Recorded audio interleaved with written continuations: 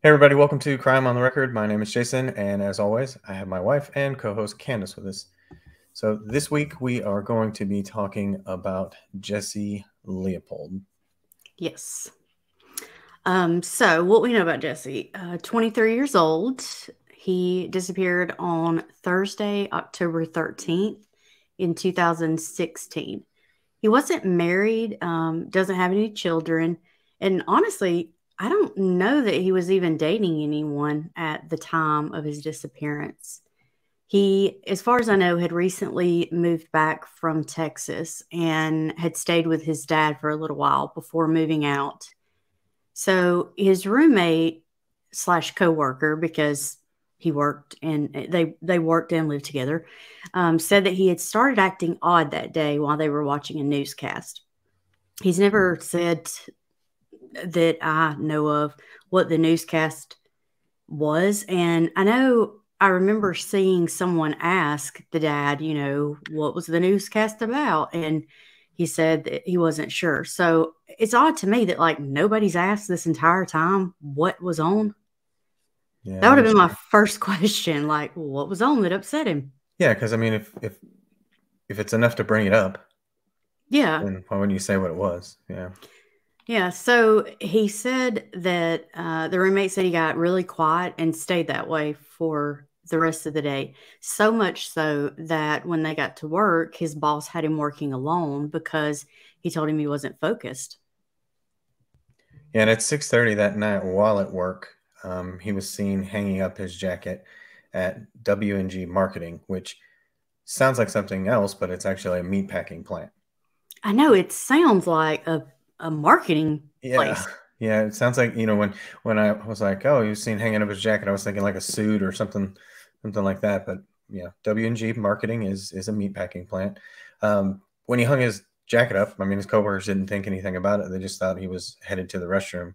Um, but he told his manager that he was going out to pick up some uh, medicine. Yeah, now that was at six thirty. So at seven thirty, or approximately so, they discovered that he had left work in his truck because again they originally thought he just went to the restroom. And then around 7.30 they're like oh my goodness he's left. His truck's gone. And they realized that his phone his sunglasses and his personal shoes were there which sounded kind of odd to me originally but if you go with us for a minute here you'll see why we say his personal shoes. Right yeah. So on friday october 14th his roommate contacted uh, his father Jerry to let him know that Jesse was acting weird and didn't come home the night before. So his dad, um, doing what I would think most parents would do, uh, he, he, contacted Boone, Story, and Hamilton County Police and the hospitals to see if maybe he had been arrested or admitted to one of the hospitals. But um, Jesse's truck uh, was ticketed by the Department of Natural Resources for being parked overnight in Ledges State Park. And you know, I think when we were discussing it, you had made the comment, and you're absolutely correct. That is a very distinct truck. I mean, mm-hmm. and one of the biggest reasons we posted a picture of it because when I was reading about the case and they said his big purple truck, I was like, okay, this I got to see. Yeah, I mean, I mean, who has a purple truck? I mean, yeah, I mean, just just saying a purple truck would be enough, but then I mean, you look at the it looks like the tires are a little bit smaller than what you would normally see, and and also there you can see on the front grill, it looks like there's you know a, a bigger grill on the front of the truck, so it's it it stands out. Do you think it's the tires are smaller, or is it lifted? Uh, yeah, it might be lifted. I mean, what do I know? I don't, I don't, I don't, yeah, I, mean, I don't drive a truck, so um, yeah, I was just yeah, thinking if it's it. I was thinking if it's lifted, it probably you know look that much bigger because it's sitting up that much higher. Yeah. Either way, it would you can't mistake it for a different truck. No, no. Um. So you know, at that time, they still didn't know where his truck was. It had. We find out later. They find out later that it had been ticketed on the 14th. But at this point, Dad still has no idea. Friends don't know. So Dad makes up a bunch of flyers and speaks with some of the community members, and together they start hanging them up, which again, you know, exactly what you should be out doing. Mm-hmm. And then um, dad also went so far as to post a um, post on Facebook with Jesse's information as well as the information on his truck, asking for people to get in touch if they had any idea where he might be. And it sounds like it might have worked. Yeah, because on Sunday, October 16th, around seven o'clock in the morning, someone came forward with information that Jesse's truck was found in Ledges State Park. Um, and, you know, as you can see on the map here, it's not very far away. It's about 41 minutes, about 30 ish miles, 34 miles. Um, so his dad found out and immediately went down there. So by 10 o'clock, uh, his dad had retrieved Jesse's truck and filed a missing persons report. Now, it's it's scary enough to to find your son's truck in a place like this when he's supposed to not be anywhere near there. Um, but the truck was found with the doors and the toolbox unlocked, and the keys were still in the ignition. It was also at the park. It was at the last paved parking spot before the fourth water crossing, which when I read that, I was like, what does that what what does that matter? Was I mean, but when you think about it, it it's it's saying the truck wasn't just like the first parking lot as soon as you pull into the park.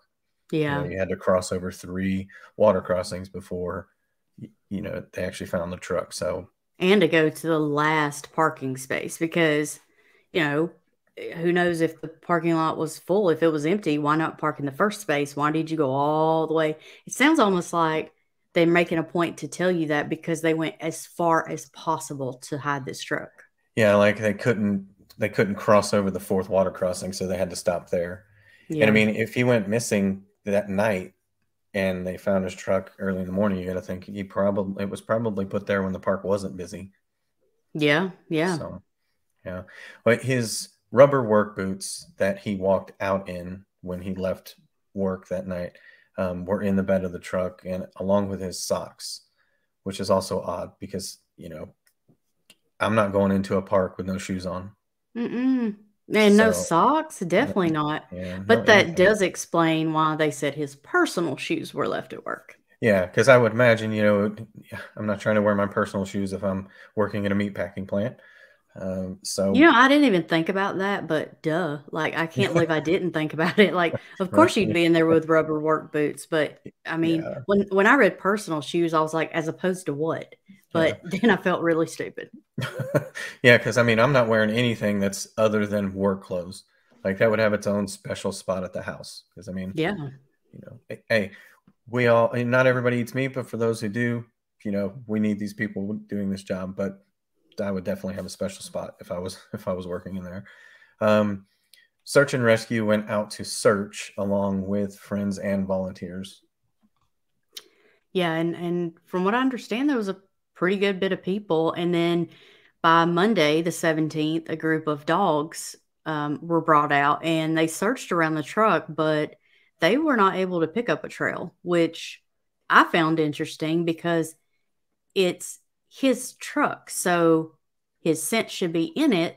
So the dogs should have been able to pick up his scent in the truck. So why were they not able to pick up a trail?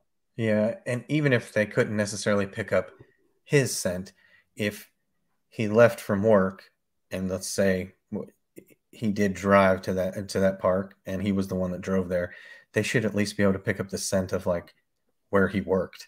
I mean, I would think that that would even be a stronger smell than even his own, you know, the, his own scent that he would leave behind. But dogs didn't pick up anything, which is really concerning. Yeah.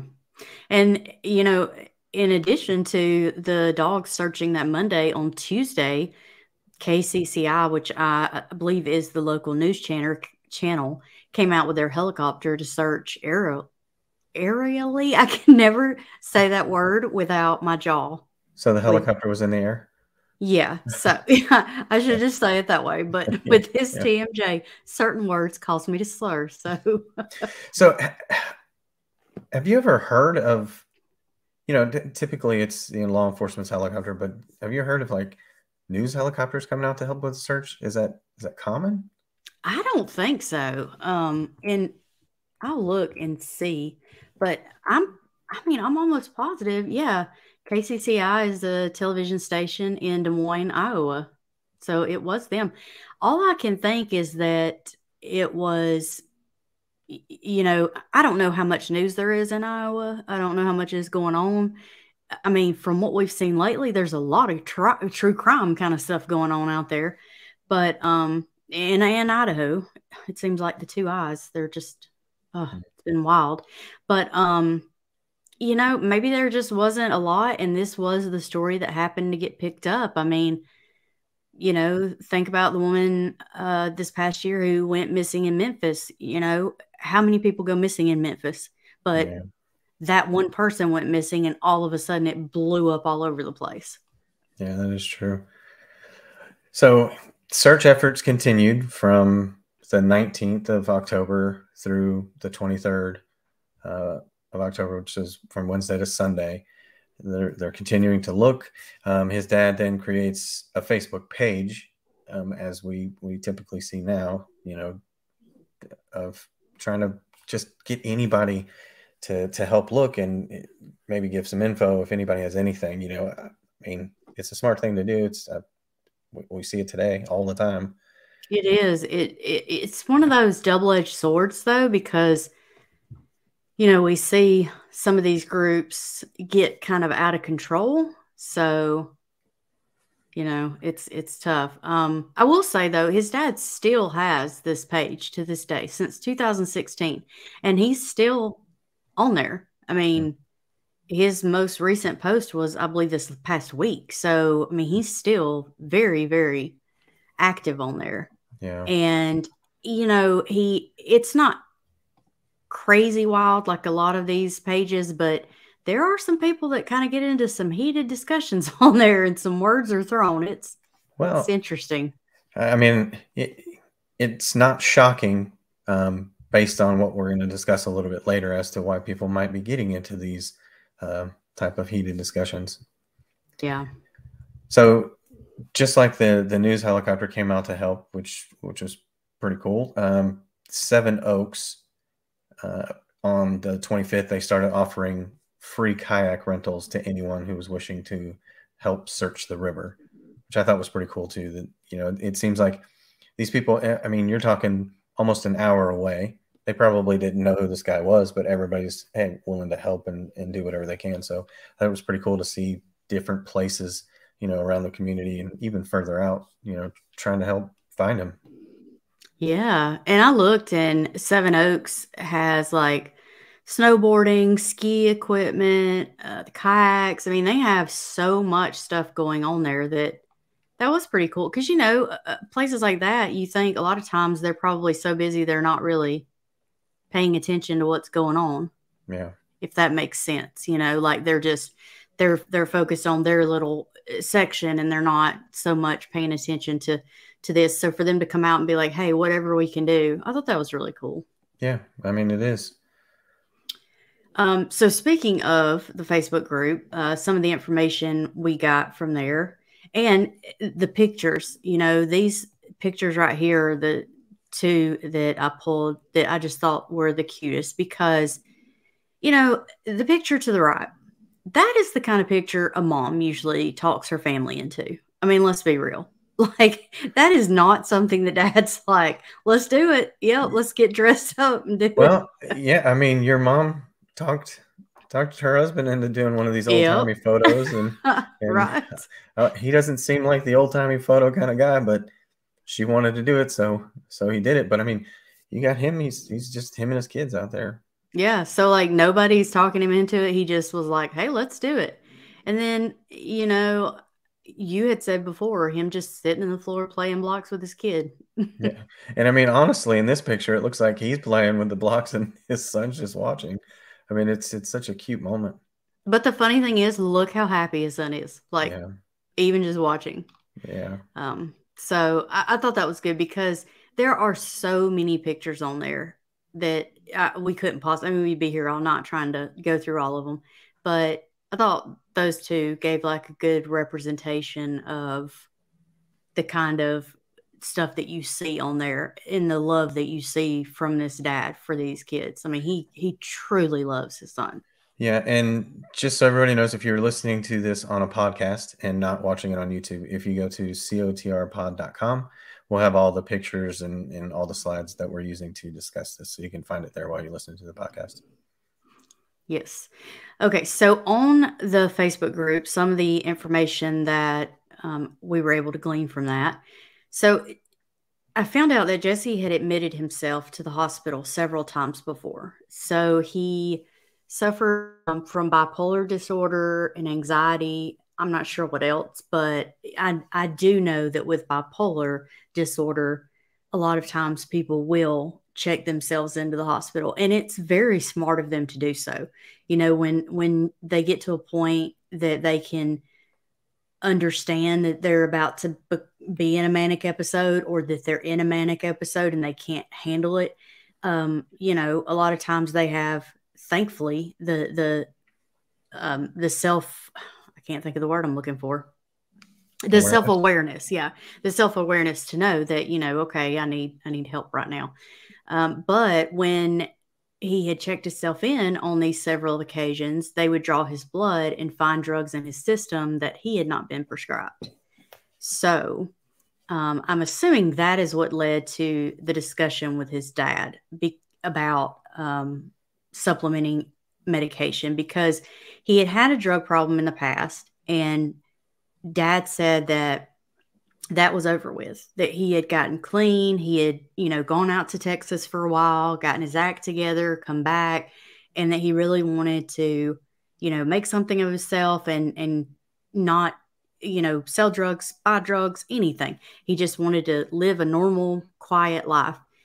But um i am imagining because of the way it's described that one of the other things he dealt with was adhd because after you know they're having these discussions about how these drugs are coming up in his system he tells his dad that he supplements his medication with meth sometimes when he can't afford to fill his prescription or he runs out ahead of time yeah. and you know i mean i don't know how close they are because i've never done meth um, but you know, Adderall is a, a form of methamphetamine salts, so they got to be somewhat comparable.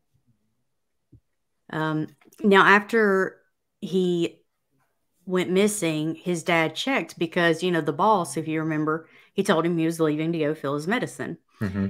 So his dad checked and said that he was not due to fill his medication until the 21st. And although I don't really know with HIPAA laws that they're allowed to do this. And my understanding is he talked to the pharmacist, and the pharmacist is like, Well, I couldn't fill it till the 21st. I don't know if the pharmacist is supposed to be giving out that information, but hmm. but he did. Well, and I mean, yeah, maybe not supposed to, but it does at least help with the timeline a little bit, or maybe yeah. give an explanation as to why he left.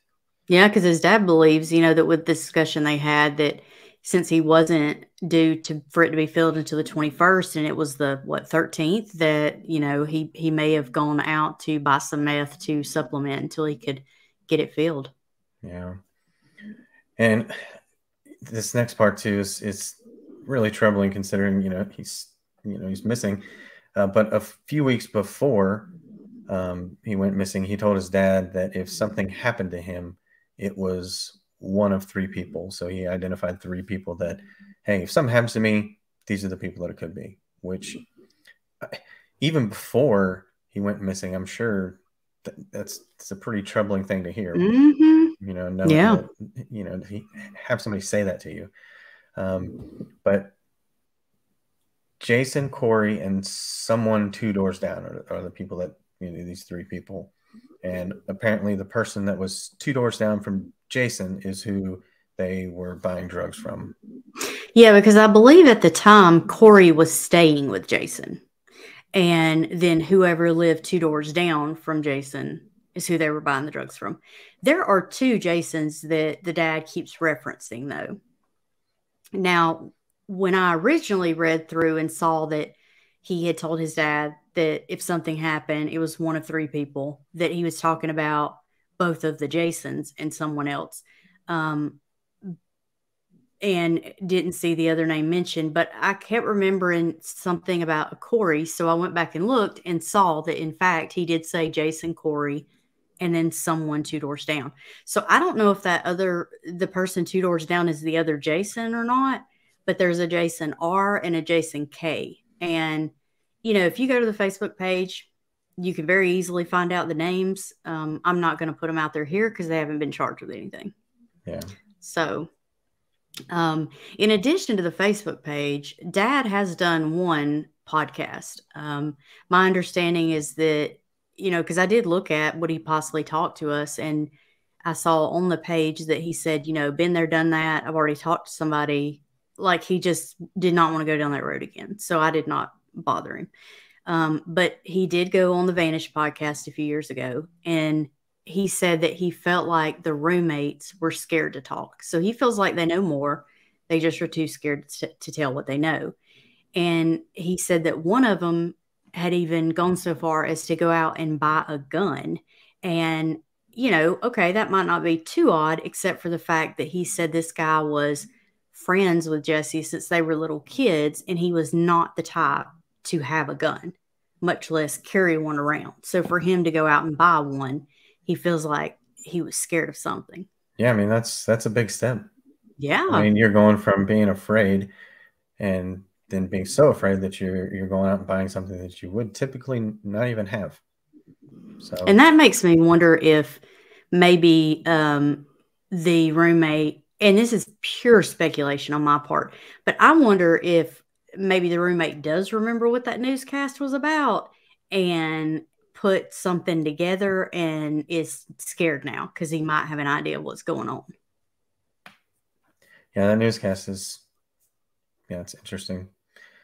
Well, I mean, his dad, you know, like we said, he's still he's still active on the Facebook page today. So, you know, back then he, he wasn't giving up. He kept an eye on some properties that he was concerned about. And I mean, months after Jesse disappeared, uh, he was actually able to get enough info to have one of the guys he believes that had something to do with Jesse's disappearance arrested for theft of a Harley. So, I mean, that's not messing around. He's he's it sounds like he's he's conducting his own investigation. He's oh yeah. Yeah. Very much so. Sadly though, even though to my understanding he had two other outstanding warrants, they still released him on bail. And so he, after his release, he goes home and they find him and his mother in an upstairs bedroom shot to death, which highly suspect sounding to me. Yeah. Um, he, he said that law enforcement was very hush hush about their deaths, not wanting to talk about it, which I mean, obviously is going to lead to more speculation. It, not to mention the fact that they also said no foul play suspected. So this is the way they wrote it up in the paper. No foul play suspected, gun found in home. Local authorities consider this case closed. Say what now? I mean, and, and that's it. Yeah. I mean, even if one shot the other, foul play would have been involved in that, right? So I, I mean, even even if it's a consensual I guess so to speak, murder suicide. It's still it's it's still foul play. I mean, even if if you want to if if you want to end your life that way, I mean, so yeah, I mean, it's foul play. So I don't and, understand how it did. You know, reading about it on that Facebook page, I saw some people talking about it, and the way they were talking, it's just considered a double suicide. That's how they're that's how they understand the police to have explained it. But like you said when we were talking about it, they found a gun. So where's the other one if they both did it? Yeah, I mean, because I mean, you do gunshot residue tests and everything else. I mean, so I'm I'm kind of curious how they just came up with. All right, yep, it's no no foul play. We're good here. We're good. We're done. So Jesse's dad met with the, their family members, and he actually saw the home with blood spatter all over it and the autopsy photos. So Jesse's dad and the family all agreed that something about this was off.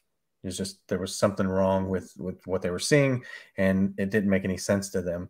So they tried to find out what the suicide note said because there was one left, but police told them that they had it, but they were never going to see it, and police told them they were never going to know what it had what it said on there, which just leads to even more, you know, Yeah. suspicion and, and causes you to speculate and wonder why. If it, especially if you're look if you're able to see the autopsy photos, like you could see those, but not the suicide note. Yeah, I mean, eh, because the thing is, the suicide note would have been written to them, Yeah, to the family. I mean, Yeah. that's who they would have wrote it to. So, why would you not want them to to see it or read it or even know what it said? And I mean, you know, it is one of those situations where did we hear that from cops? No. So do we know? Not a hundred percent. But why would they lie about that? That just seems like such an odd thing to lie about. Yeah, and and based on everything that he's doing, I don't see him lying about this. Yeah, it's just so odd. And, you know, with no foul play being involved and them acting as if it's both of them committed suicide or died by suicide, did they both leave a note or just one note? Was it one note they wrote together? I mean, I have so many questions about this. Yeah, and I, I mean, I don't, I don't know. like this, this doesn't sound common um, for you know. And if they both did end their life that way, they came together and wrote a joint note. yeah, I mean, It just just, doesn't make any sense. it really doesn't. You know, and I mean, on top of that, you know, Jesse's dad, he's continuing to, to do his own research and looking into things. I mean, he found several pairs of surgical gloves in his son's truck. Didn't belong to Jesse. They're just in his son's truck, but cops were not interested, did not care. Which is crazy. yeah, absolutely. Um, it took weeks for law enforcement to even print the truck to, to see if they could find fingerprints. And they did. They found one full and one partial print, um, but not Jesse's. They didn't find his, but they found a full and a partial print. And his dad doesn't believe they even ran him through AFIS. So why why go out there and look for prints if you're not even going to bother to, to run them through AFIS and look? Yeah. Yeah. He also found two 45 caliber shell casings, but once again, police not interested. Yeah, it's so wild. I mean, you know, and you live and learn. So, you know, his dad has said, you know, maybe he shouldn't have left with the truck, but at the time, you don't know. Like he gets to call his son's trucks out there. He goes all the way out there. What are you just going to leave it there? Like you don't know what's going on. And if it's unlocked and the keys are in it, I could see how you would easily be like, okay, well, it's not safe to leave his truck here unlocked with the keys in it. So I'm going to take it home. Mhm. So, you know, dad did take the truck home. And I think, you know, he's probably felt like maybe he shouldn't have done that. But it doesn't sound like the police would have been out there fingerprinting it or doing anything. Cause I mean, they waited two weeks after that to do anything. Yeah, I was going to say it, it. I mean, yeah, it's not like police were doing anything anyway. It Doesn't sound like they were very involved in the search. So yeah, why wouldn't you take it? It really, really doesn't. Um, you know, as far as absolutes and, and information, I couldn't find hardly anything in any kind of newspaper article, which is why we went from the Vanish podcast and the Facebook information because it's almost as if, you know, law enforcement's like, whatevs. And so nobody's reporting on it. So, as far as just information eh, that we know pretty much for sure or you know has been kind of backed up that's all we know. Now as far as theories there's a little more. Um so dad said that it was explained to him and he didn't say by who he just said explained to him that a debt was transferred on to jesse. I'm guessing he didn't say who because this person's probably scared like everybody else um, somehow there was a debt owed from Jason's household and it was put onto him. Now, I don't know how that would be unless, I I mean, I just don't even understand the concept unless maybe this Jason guy tried to say he stole it or, you know, I gave it to him to sell or Yeah. I'm not sure what.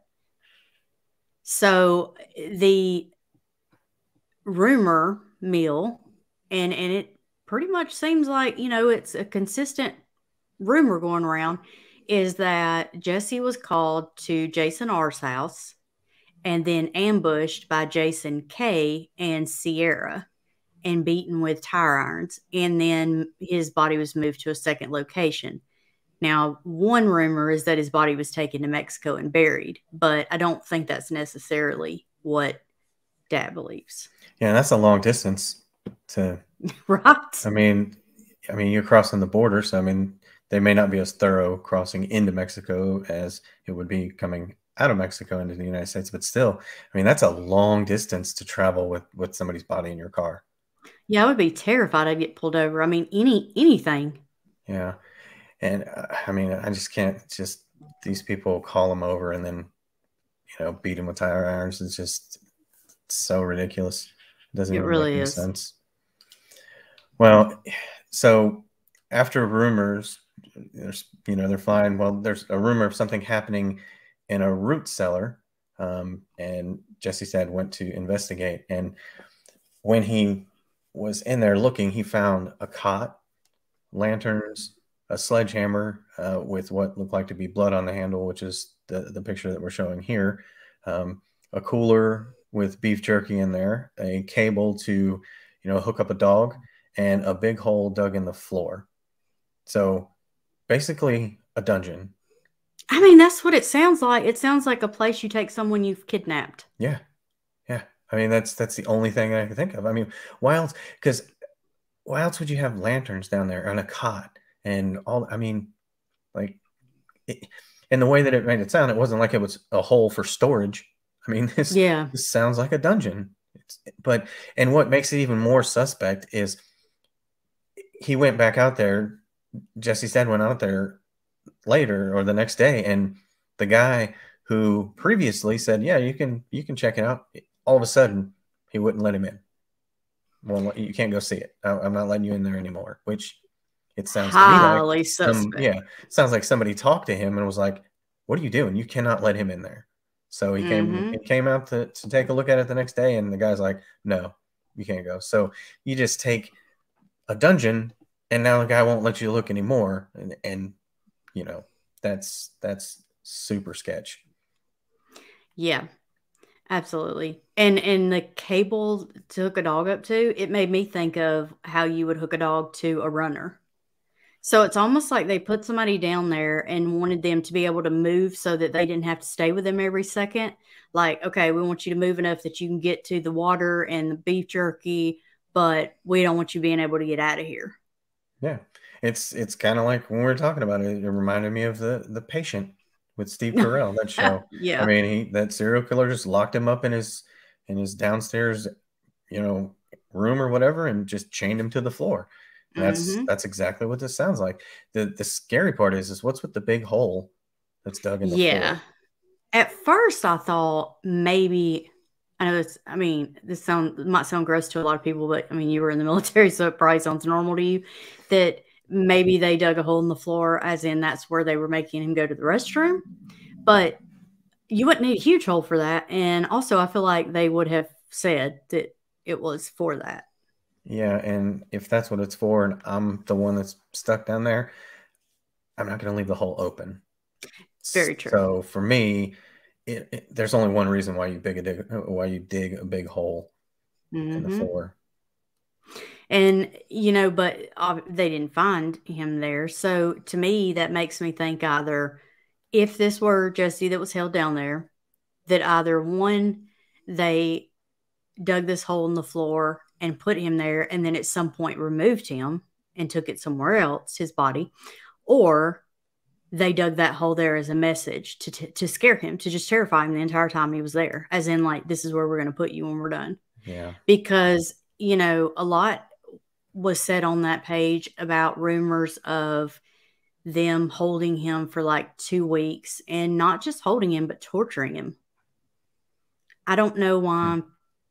They would have done that but you know, I guess that could go along with this debt that is owed. I mean, if they did feel like he owed them money, like he had taken money or taken drugs, do you think maybe they could have been trying to like get it back, like trying to torture him so he would tell them or?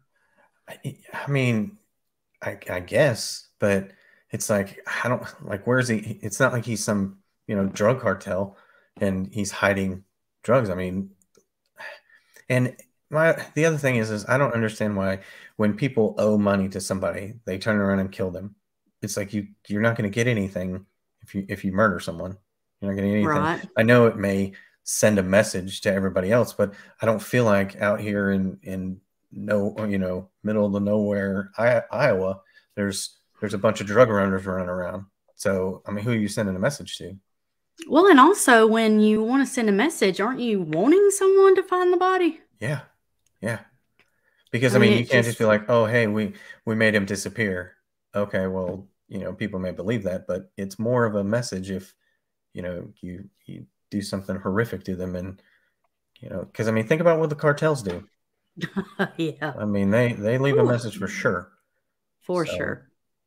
Now I know um you know, I wrote up our outline for us to discuss this, and it wasn't in the outline because I don't necessarily remember seeing it listed in the list of things when I read about it.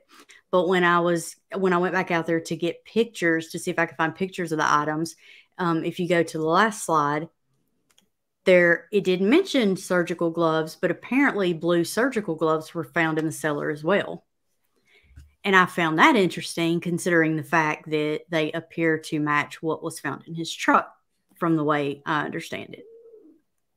Which is just another thing law enforcement is not, you know, concerned with that, that doesn't intrigue them at all. Right.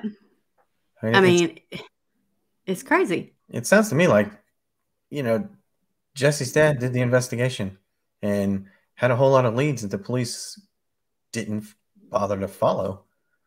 Yeah. I mean, I mean, somebody, you know, there's lots of people from Boone, Iowa in the comments talking on there for for all these years now. And somebody was saying a while back, I read one of their comments, I think it was from 2018 or 19, but was saying that, you know, they were from Boone and that it's common knowledge there in those crowds that Jesse was involved in something and was killed as payback and to shut him up. So it it's almost like one of those cases where you see it get solved 20 years down the road mm-hmm. because a cold case team goes back in and finds out that oh even though it's not been solved apparently everyone in this town knew what happened the entire time oddly enough that person that made that comment on there um, as I kept scrolling through, I saw where um, I think it was last year or the year before. So I think he made the comment in 18 or 19. And then in like either, I think it was, I think it was 21, but it was 20 or 21. Somebody went back and responded to that comment, said, Oh, yeah, isn't it funny that you're dead now too? And I don't know wow. if this guy, and I went and looked, I didn't see anything like active on his Facebook, but it's kind of locked down. So I was like, is this dude dead now too? Like, did somebody kill him? Dang. And you it's know, typically, crazy. yeah, typically we would have the dates, the exact dates, especially her because she's huge research yeah. nut. But I mean, you're talking about a Facebook page that's almost seven years old. So, yeah, I mean, there's yeah. a lot of stuff out there. But and the thing is, is it's nuts, like, though. yeah, and and the thing is, okay, so we typically are all about facts. Like, we're not just going to put all this crazy stuff and throw it at the wall and see what sticks However, I I feel like if the news is not going to cover this and the cops don't seem to be concerned and the only one out there is his dad, mm-hmm. would it be better ethically to just not cover it because we don't have all these sources we can cite or to cover it with what at least he feels like he's found out. Mm-hmm. We, you know, we didn't, um, Facebook's public unless they mark it private. It's, this page is not private. So anyone could go out there and see these names.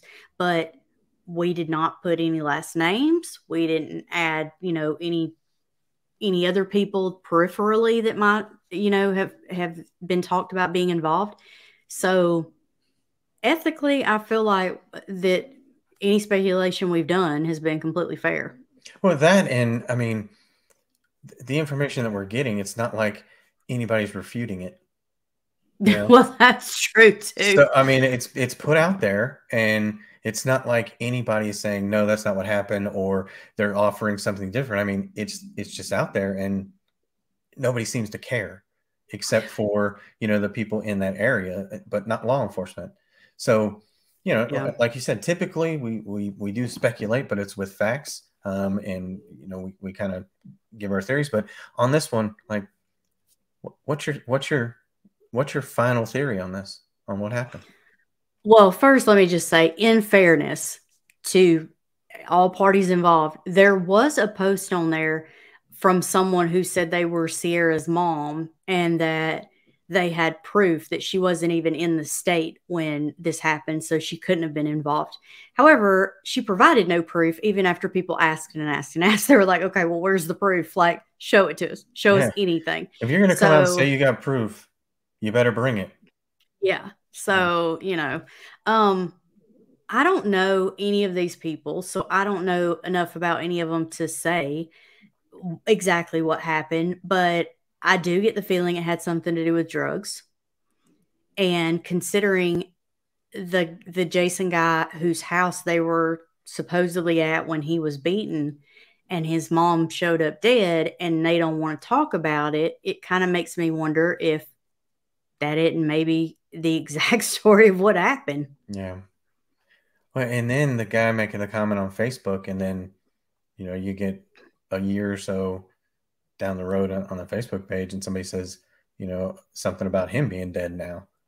So mm-hmm. it's just, I don't know. It's, it feels like one of those things where it's so crazy to think that this could be the truth that it is the truth yeah you know one of those truth is stranger than fiction type of things so and the, the only other theory that i saw someone put out was that the jason k guy they said that they did not believe and and i say i just bring it up because one person floated the theory or rumor or whatever and then several people like oh yeah yeah and they were all talking about it so it i mean it's just as plausible as anything else but they said that this Jason K guy, they don't believe he actually was capable of cold blooded murder. So they don't believe that he actually killed him. They said that they think he, and I don't know this, but that he accidentally shot him. Now, I don't know how he accidentally shot him or accidentally killed him, but I mean, that and and he found and there was two 45 casings. Did you accidentally shoot him twice? Yeah. Well, and what were you doing that caused you to accidentally shoot him? Yeah. Uh, potentially twice. Exactly. I mean, you know, because yeah, sure, maybe you're showing somebody your your gun and it's loaded because you're an idiot and you didn't bother to clear it. um, but yeah, I don't know how you. And then if you did, how do you not say anything? Yeah. I mean, I know you're probably worried about getting in trouble, but after this long, you still don't say anything. I don't know. I also I have a I have a problem with with all of these things not being investigated. Yeah. You know, I don't want to I don't know anything about the law enforcement agencies out there.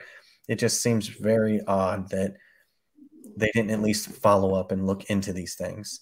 You know, keeping the suicide note, uh, uh, you know, not saying anything, especially like you were saying earlier, that's something that's written to the families. Yeah. It's not written to law enforcement. The only thing I can hope is that, you know, how sometimes, I mean, we see we see this all the time. That it's kind of like the fish story.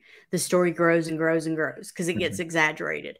So, I I think it could be one possibility is that maybe the police didn't say you'll never see it so much as it's evidence we're not going to show it to you and they took that and said they're never going to show it to us so you know maybe the police are investigating something that was in that suicide note they're just not telling dad because i mean we did see from you know the idaho case that and i don't mean this in any way because i completely understand why he did it but we did see in the Idaho case how, you know, there was one parent that was very vocal mm-hmm. and and talking about a, a lot to do with the case and there was a lot of you know backlash that came his way about you know well that's why the cops aren't talking to you because you're talking um i don't think he in any way was trying to jeopardize the case so you know i think he was grieving but you know it, knowing that the police probably weren't talking to him because of that i wonder if maybe because you know this dad has made this Facebook page and has been investigating himself and all. Maybe there are police working on it. They're just not telling him. But it's been a long time. I mean, you you are you are really reaching for some optimism. Um, I know. But I know. my thing is, is didn't the host of the Vanish podcast like file the paperwork that she needed to to get this information, and the cops are like, "Nope, not giving it." Yeah, yeah. So I'm I mean, pretty sure. Yeah. I mean, my thing is, is it's it's kind of like the you know Sierra's mom saying, "I've got proof that she wasn't involved." Well, what's the proof? Crickets. Well, yeah. yeah. So my thing is, is I don't. I'm not saying law enforcement is involved. It does bother me that somebody is asking to see this stuff, and law enforcement is like, "No." Well, yeah. Why not? The only reason you don't show something is one, if there's an active investigation, which there isn't or two, you got something to hide. Yeah. That's that's my thoughts personally. I'm not saying that's what's going on, but for me, if you're not showing somebody something, it's because you have something to hide. But I don't know. And you know, it kind of goes, uh, you know, about the investigation. Are they doing one or not? Because this is kind of the part in the podcast where we would show a missing persons flyer and say, hey, if you have any information, contact law enforcement at whatever number. And guess what? There isn't one yeah. they're not looking into this. They're not. They're not. He's his disappearance is is whatever to them. It's case closed. It's over. When there's yeah. clearly a lot of stuff that they they could at least follow up on. And you know, as people are listening to this, if anyone knows differently, I mean, we are never too proud to say, "Oops, we were wrong. We got it wrong." So, if if anybody out there knows of you know some flyer they're putting out with information or some investigation they're doing, please let us know because I would sleep better knowing they were actually investigating this. Yeah. But I, I mean, didn't see where they were. I don't like being wrong, but this is one of the times I would I would really love to be wrong to see that there is an investigation, somebody looking into something. Um, but as for the Facebook page um, and all the sources and also the the slides that we have, cotrpod.com, they'll be on there. And then the link to the Facebook will be in the show notes or in the description of the video, depending on how you're watching it. So if you do have any information, and I mean, I, I want to show the truck, you know, one more time because it is very, it's one of those trucks that even if you haven't seen it in a long time, you'll probably remember it. Because I mean, yeah. just looking at it, I mean, that is, it's definitely not a color that you see often. I, I don't, honestly, I don't remember, I don't know of any car I've ever seen that color.